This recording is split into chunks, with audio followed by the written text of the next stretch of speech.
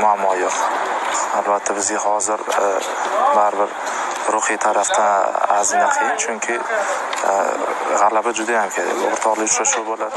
O'shaning uchun hozir o'n uchinchida bo'ladigan o'yinga yaxshi tayyorgarlik ko'rib g'alaba qozonsak manimcha hammasi joyiga tushib ketishi kerak. Murabbiy buni boshqacha taktikasi buni bolalarga sindirish uchun e, nima deydi? Bir hafta ikki hafta yetmaydi baribir.